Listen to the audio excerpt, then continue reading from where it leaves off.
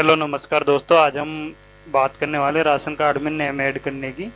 या फिर आप मान लीजिए डिलीट करना हो, दोनों सेम चीज़ होती है, उसमें केवल एक ही कॉलम का फ़र्क होता है, जो आप या तो डिलीट करो या ऐड करो, एक ही बात है। तो हम ऐड करके दिखाएँगे आज आपको। तो ऐड करने के लिए सबसे पहले आप एक ब्राउज़र को ओपन कर लीजिए और अपनी मित्र आईडी को लॉगिन कर लीजिए यहाँ पर। ये मित्र आईडी लॉगिन करने के बाद में यहाँ पर आपको इस प्रकार का डैशबोर्ड मिल जाएगा। डैशबोर्ड के अंदर आप यूटिलिटी टाइप सर्विस पर क्लिक कीजिए। यहाँ पे यूटिलिटी टाइप सर्विस पर क्लिक कर देता हूँ। यूटिलिटी टाइप सर्विस पे क्लिक करने के बाद में इस प्रकार से डैशबोर्ड आपका खुलेगा यहाँ पर। तो आपको बता देते हैं कि ये चीज़ की ज़रूरत कब पड़ती है राशन कार्ड में नाम जोड़ने के लिए। जब आपका नया बच्चा जन्म हुआ हो या फिर शादी हुई हो तो इस प्रकार से आपका नाम जोड़ने के लिए आपको ज़रूरत होती है राशन कार्ड में तो इसके लिए सबसे पहले यहाँ पर सर्च कीजिए, ration card ration card ration card search करेंगे, आप यहाँ पर बहुत सारे राशन से रिलेटेड सर्विसें यहाँ पर मिल जाएगी आपको। तो यहाँ पर आपको फॉर्म नंबर चार दिखाई देगा, नाम का विलोपन सुधार राशन कार्ड का नाम जोड़ने हेतु प्रपत्र फॉर्म नंबर चार। इस पर आपको क्लिक कर देना है, ऐड करने के लिए। या डिलीट करने के लिए, दोनों के लिए सेम सर्विस है ये। उसके बाद ओके बटन पर क्लिक करने के बाद में यहाँ पर इस प्रकार से सर्विस यहाँ पर ओपन होकर आ जाएगी। इस प्रकार से यहाँ पर सर्विस ओपन होकर आ चुकी है। यहाँ पर आपको सिलेक्ट ऑफ़िस करना है। सिलेक्ट ऑफ़िस में आपका संबंधित जो भी ऑफ़िस पड़ता है, वो यहाँ पर सिलेक्ट करना है। उसके बाद कंटिन्यू पे क्लिक करना है। कंटिन्यू पे क्लिक करने के बाद में इस प्रकार से फॉर्म आपका खुल के आ जाएगा। यहाँ पे जिस राशन कार्ड में नाम जोड़ना है, आपको यहाँ पे टाइप कर लेना है। राशन कार्ड नंबर मैं राशन कार्ड नंबर यहाँ पर टाइप कर लेता हूँ, जो भी आपका हो इस प्रकार से। यहाँ पे राशन कार्ड नंबर टाइप कर लेता हूँ मैं। यहाँ पे मैंने राशन कार्ड नंबर टाइप कर लिया है। उसके बाद में सर्च राशन कार्ड पे क्लिक कर देना है आपको। सर्च राशन कार्ड पे जैसे क्लिक करोगे, यहाँ पे ऑटोमेटिकली सब कुछ डिटेल भर कर फिल होकर आ जाएगी। यहाँ पर थोड़ा सा नीचे लोगे आप यहाँ पर। तो आपको बता देते हैं, यहाँ पर हम कि जो ये राशन कार्ड है, इसकी कंप्लीट पहले प्रोसेस हम ऑनलाइन करने की जान लेते हैं। उसके बाद में ऑफलाइन फॉर्म किस प्रकार से फिल करना है, कहाँ से डाउनलोड करना है, वो सब कुछ हम बता देंगे आपको लास्ट में वीडियो के। तो बने रहिए वीडियो के साथ में कंप्लीट जानकारी हम उपलब्ध करवा रहे हैं। अगर वीडियो पसंद आए तो लाइक करना है। और अगर आप पहली बार विज़िट किए तो चैनल को सब्सक्राइब करके घंटे आइकन को दबा देना है। उसके बाद करना है आपको सबमिट बटन पर क्लिक सबमिट बटन पर जैसे ही क्लिक करोगे, यहाँ पर इस प्रकार से ये एप्लीकेशन खुल कर आ जाएगी। यहाँ पर चूज़ फॉर्म का ऑप्शन मिलेगा। यहाँ पर जो फॉर्म नंबर दिखाई दे रहा है, इसको आप यहाँ पे क्लिक कर देना है आपको। यहाँ से चूज़ फॉर्म कर लिया है हमने। चूज़ फॉर्म करने के बाद में फॉर्म इस प्रकार से खुल जाएगा। ऑटोमेटिक सब कुछ डिटेल फिल होके आ जाएगी। जो नहीं आती उसको हम यहाँ पे भर के देख लेंगे यहाँ पर। तो यहाँ पर एक ऑप्शन मिलेगा आपको add new member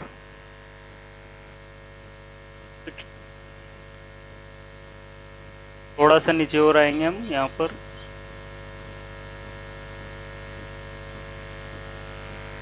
add new member पे क्लिक करना है आपको। बाद में यहाँ पर जिसका नाम जोड़ना चाहते हैं, आप उसका नाम हिंदी में यहाँ पर भरना है इंग्लिश में यहाँ पे भरना है। चलो मैं इसको भर लेता हूँ, फिर उसके बाद मैं आपको समझा देता हूँ। तो दोस्तों, यहाँ पे जिसका नाम ऐड करना है, आपको यहाँ पे भर देना है। उसके बाद इंग्लिश में भरना है यहाँ पर, उसका नाम। उसके बाद उसकी माता का नाम यहाँ पर बढ़ देना है जिसका नाम ऐड कर रहे हो आप। हिंदी के अंदर, उसके बाद इंग्लिश के अंदर, उसके बाद में जिसका नाम ऐड कर रहे हो, उसके पिता का नाम यहाँ पर हिंदी में और इंग्लिश में यहाँ पर बढ़ना है उसके बाद में यहाँ मेल फीमेल जो भी है, वो सिलेक्ट करना है। उसके बाद डेट ऑफ़ बर्थ लिखना है। उसके बाद एज लिखना है, कितनी एज हो रही है। उसके बाद में अगर उसका आधार नंबर है तो यहाँ पर आधार नंबर टाइप करना है। उसके बाद में बेटा, बेटी है तो वो यहाँ पर टाइप करना है। उसके बाद आप करना है एड मेंबर एड मेंबर करते हैं, ये इस प्रकार से ऐड हो जाएगा।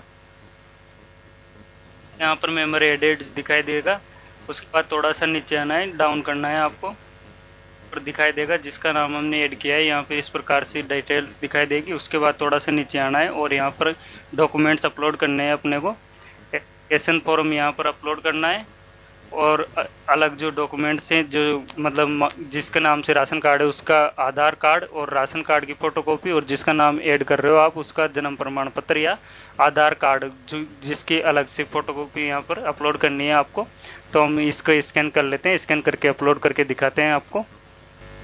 दोस्तों, यहाँ पर, यहाँ पे एप्लीकेशन फॉर्म नंबर पे, यहाँ पे अपलोड पे क्लिक करना है आपको।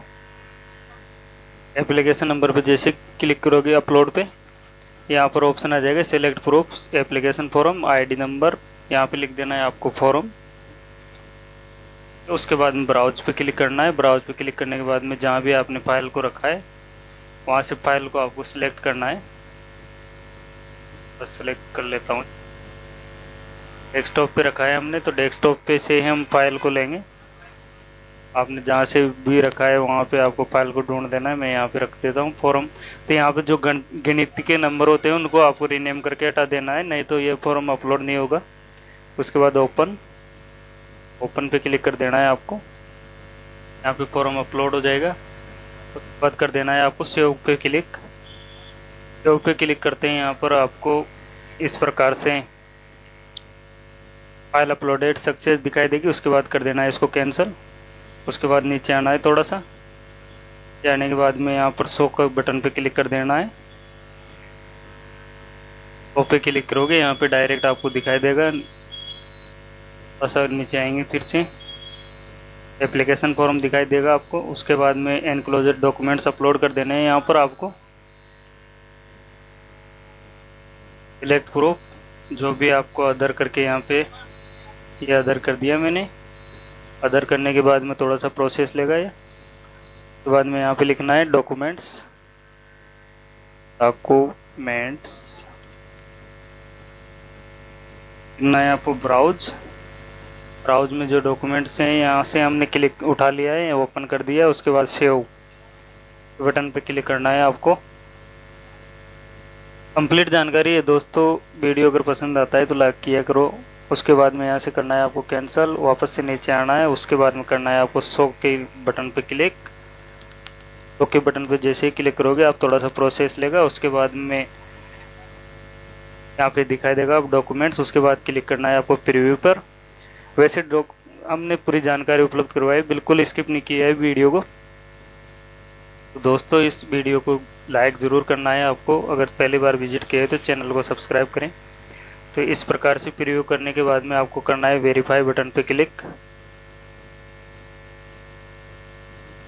वेरीफाई बटन पे क्लिक करने के बाद फॉर्म वेरीफाइड ऐसे लिखा आएगा, उसके बाद में वापस से नीचे आना है आपको डाउन में, और यहाँ पर मिल जाएगा आपको एक option generate token and send to process इस पर कर देना है आपको क्लिक